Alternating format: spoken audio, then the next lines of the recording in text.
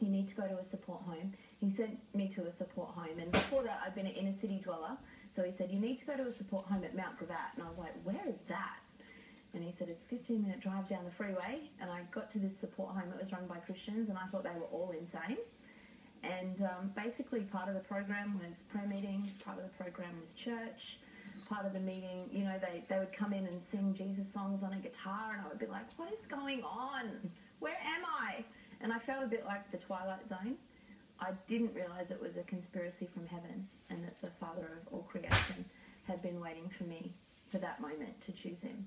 And so six weeks into the program, one day at church, walked up the front, don't remember how I got there, said basically along the lines of, okay, God, if everything that these people have said and shown me about you is true, then I dare you to take me. And he did. And that began my life transformation journey at the age of 24. And did everyone notice the massive change in your life Huge. after that? it was huge. It started in my eyes. It started in my eyes because when I'd used drugs, you know, people were just like, you look like you're formed up. And so the light started to come through my eyes, and then the next thing that they noticed was my language because I used to swear a lot.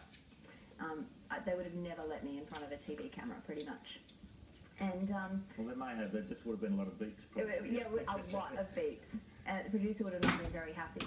And so they noticed that, and then they noticed my attitude because I used to be really violent and angry, and that started to change. And they were like, "Wow!" And then the other people in the home were like, "Wow, this is really something." Because if it can work for her, it could work for me. And then there was a revival in the home, and I've just been recording the audio version of my first book, Trophy of Grace, which has been an incredible experience to read that out loud and journeying back through my own story. And as I've been reading it, I've been like, wow, I remember that, I remember that, I remember that. Not all the good bits, I remember that too.